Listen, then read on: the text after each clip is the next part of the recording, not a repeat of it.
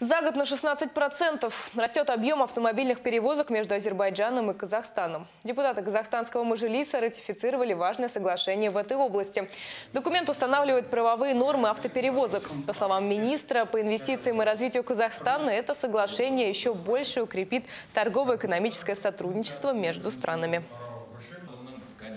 Это дает возможность э, коридора через Ахтау, через Курык сделать более привлекательным и позволит сохранить ту динамику, которая наметилась по увеличению объемов перевозок автомобильным транспортом между двумя государствами. За последнее время такие договоры об автомобильном сообщении Казахстан заключил с 41 страной. Цель такого активного привлечения грузопотоков – создание крупнейшего в Центральной Азии логистического хаба.